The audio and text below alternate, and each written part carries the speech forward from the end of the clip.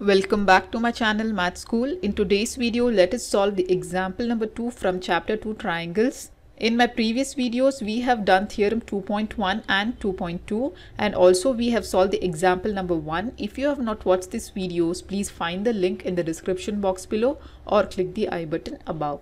So before we begin our video today, please like and subscribe to my channel and don't forget to hit the bell button below to get the latest updates of my videos as I'll be completing the whole syllabus for class 10th SSLC NCERT Math. Example 2 from chapter 2 triangle says ABCD is a trapezium with AB parallel to DC and E and F are points on non-parallel sides.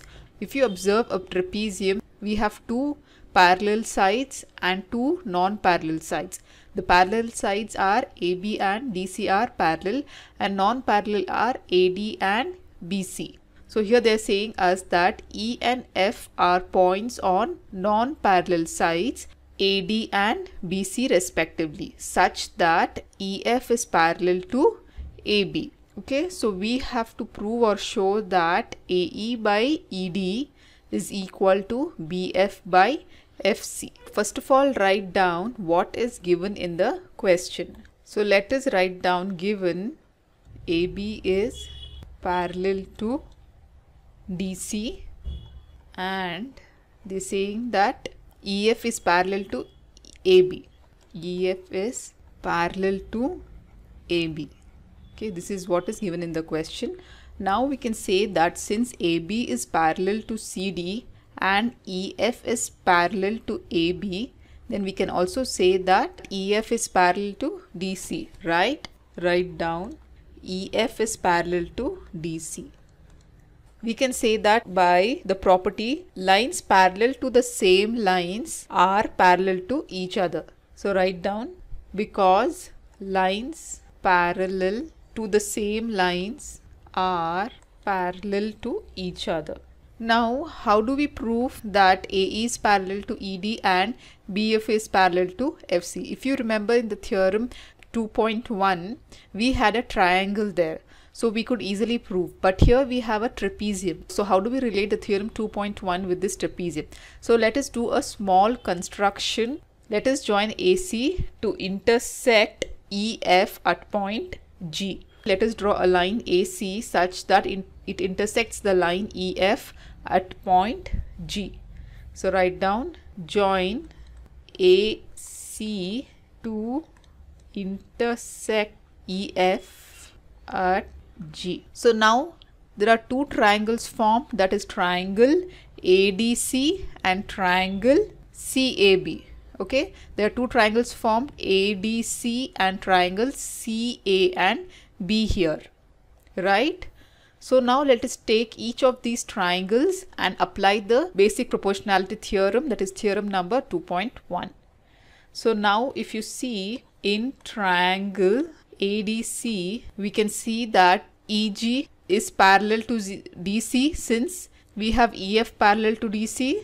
Right here, if you see EF is parallel to DC, that means that EG is also parallel to DC. Okay, so we can apply the basic proportionality theorem and we can write AE by ED is equal to AG by if a line intersects the other two side and it is parallel to the third side. Then we can apply the basic proportionality theorem. By this theorem since we have EG parallel to DC as EF is parallel to DC so we can write down AE by ED is equal to AG divided by GC by theorem 2.1 Similarly, if you consider the triangle CAB, okay, so you can take the triangle similarly.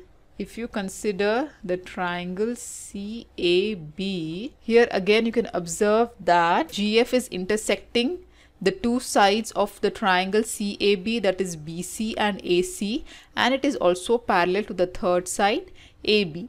So we can again apply the BPT theorem or theorem 2.1 here. So write down since GF is parallel to AB as EF is parallel to AB, right? That is given in the question. So therefore we can write GC divided by AG is equal to FC divided by BF. So here you can write again by theorem 2.1. Now if you observe here equation obtained by triangle ADC we have AG by GC is equal to AE by ED. Whereas the equation obtained by triangle CAB, we have GC by AG is equal to FC by BF. So let us reciprocate this value so that we obtain in this form that is AG by GC. Reciprocal on both the sides. So if you take the reciprocal of this equation, you will get AG divided by GC is equal to BF divided by FC. So let this be equation number 2. The equality of the values on both the hand sides will remain same even if you take the reciprocal of any equation.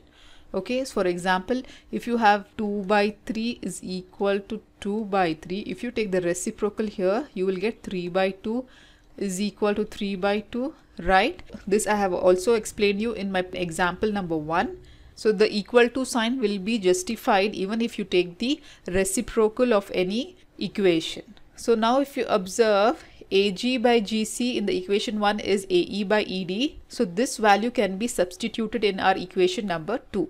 Write down substitute value of AG divided by GC in equation so if you substitute the value of AG by GC from equation 1 in 2, so AG by GC here it is AE by ED. So let us substitute in equation 2.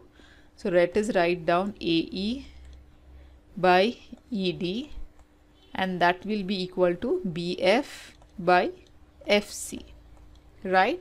If you compare this equation with the equation which we had to prove or show that is AE by ED is equal to BF by FC which is same. So this is how we solve this example number 2. It is very simple. If they have given you a trapezium, you have to just draw a line and cut this trapezium into two triangles so that you can apply the theorem 2.1 and prove the given equation. So this is how we solve this problem. If you have any doubt, you can please comment me below in the comment section. In my next video, I'll be solving example number 3 from chapter 2 triangles. So till then, please like my video and subscribe to my channel. Thank you.